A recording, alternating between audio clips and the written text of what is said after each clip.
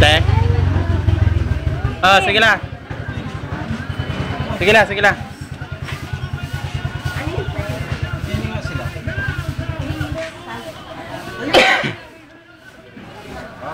One, one, one.